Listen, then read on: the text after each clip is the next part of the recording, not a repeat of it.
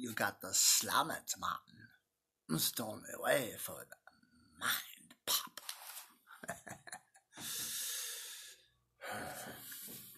yes, I too am aware of the consequences of the words energy you put out, especially in America, right? I'm not even gonna go there.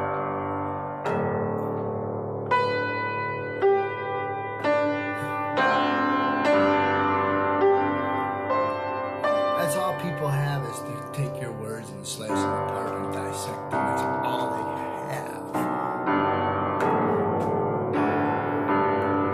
And find fault in all the crevices of their story and tear it apart because they themselves are pathetic